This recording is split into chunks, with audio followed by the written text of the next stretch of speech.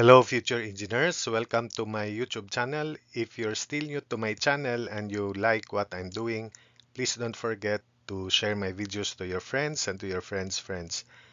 To your younger brothers and sisters who would want to take up engineering in the future, and to your relatives.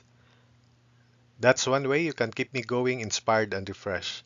Now, if you find my videos interesting and important to your studies, also, please don't forget to subscribe. Hello future engineers, subscribers, and viewers. Here is another problem on counters for you to gain experience. Compute the forces in members CE, EF, and AF of the truss shown if the interior diagonals are made of ropes. So these interior diagonals here are made of ropes so therefore, if they are subjected to compression, they are automatic carrying no compression, so therefore they are zeros. So since we have lateral loads of horizontal lateral loads, so if we section this part here, this member CF should oppose this lateral loads so this should be in compression and therefore it is zero as shown. So if that is zero then BE the other interior diagonal should be in tension. But we are interested only of member C, CE so we draw the free body diagram of joint C and it is as shown. Then we sum up forces along axis U where U is the axis where the other two members, BC and CD, are perpendicular to that axis so that when you sum up forces along U axis, these members will have no components along that axis. Then charge it to your experience that whenever two forces are collinear and the other two are also collinear, there are four forces all in all the two collinear forces are equal in magnitude but oppositely directed. So remember that principle. Same is true with this. So these two forces, BC and CD, are equal, but we will not compute it here. We, we are only interested of SCE. So summation forces along U equals 0. SCE cosine theta plus 90 cosine theta, the component of 90 along U equals 0. So cancel out cosine theta. So SCE is obviously negative 90 kilonewtons. So it is a compression member CE. We then proceed to computing the force of EF. So we consider section AA as shown and above so that there's no need to compute for the reactions really. So additional unknown forces or forces sectioned or members that are sectioned by this AA here would be BC, BE, and EF as shown. And take note that the other two unknowns, BC and BE, their lines of action meet at joint B. So considering forces above it, then moment summation about B will be able to we will be able as to solve for SEF because these two will not be involved. Then by principle of transmissibility by force, I move SEF here and take note that this is 9 meters and these uh, members, horizontal members are equally uh, spaced apart. Therefore, 9 should be divided by 3.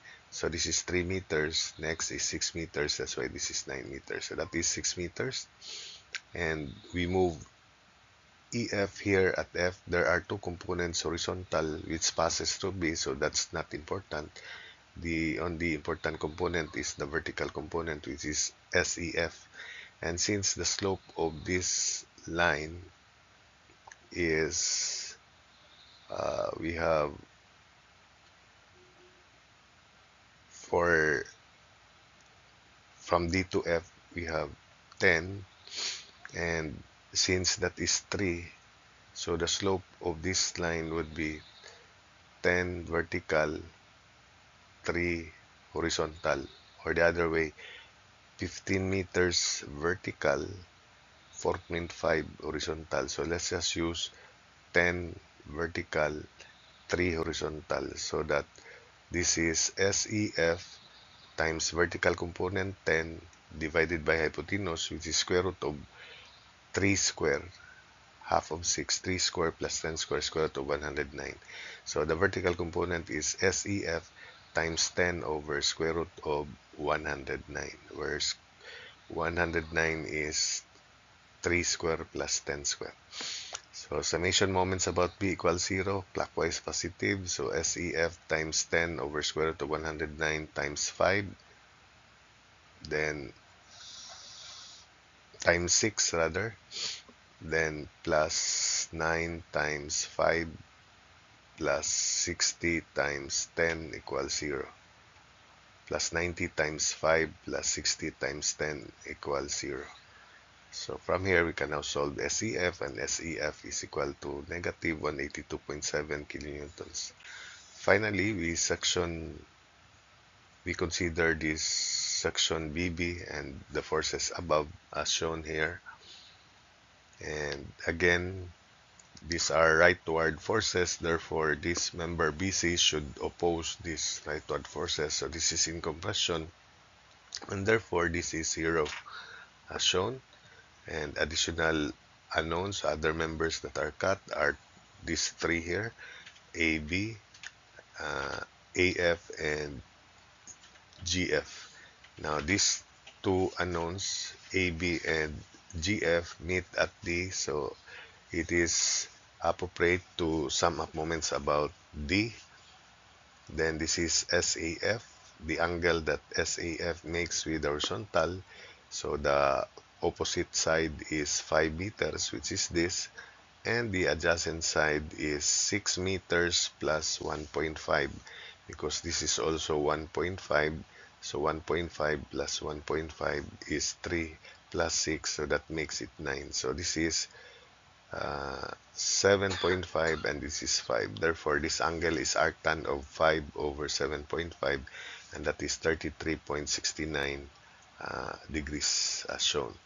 So I move this force SAF here at the center here so that the vertical component passes through D we plan to sum up moments about D because these two unknowns meet at D so that is not important. So only the horizontal component is important and that is SAF cosine of 33.69 degrees as shown. So that is SAF cosine of 33.69 degrees. And we need to solve this distance h so this is solved by similar triangles h as to 3 meters that's 3 meters equals 5 as to 7.5 and you will get h is 2 the other way is tangent 33.69 degrees equals h over 3 and h is indeed 2 meters so 2 meters plus 5 plus 5 is 12 meters. So the moment arm of SAF cosine 33.69 degrees about the is 12 meters. So summation moments about d equals 0 count clockwise moment positive. So SAF cosine 33.69 degrees times 12 then it is equal to 90 times 5 plus 100 times 10 so that SAF can now be solved and it is equal to 145.2 kilonewtons so that's it for this problem and I hope that you are able to understand the solution and the explanations, it's a matter of principle that when the interior diagonals are made of ropes and they are subjected to compression, they are automatic zeros.